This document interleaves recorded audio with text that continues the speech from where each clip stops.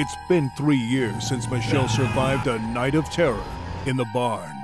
Now, she's planning her sorority's annual Halloween haunted house. I would like to make a motion to take our annual haunt into town and relaunch Halloween.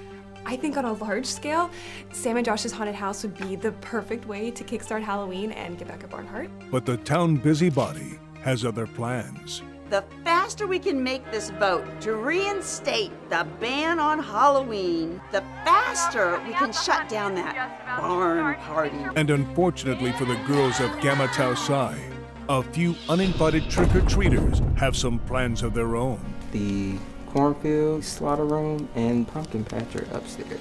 And that haunted house seems to be the perfect place to make a new house of horrors for our ghoulish fiends and their new friends.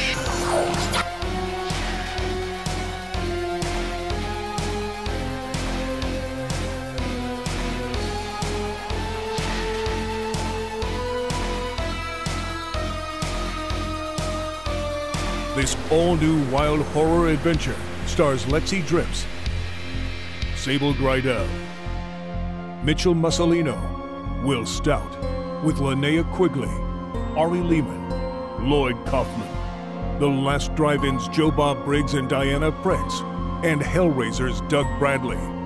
The Barn Part 2. This year, no one can stop the harvest. Coming soon to home video.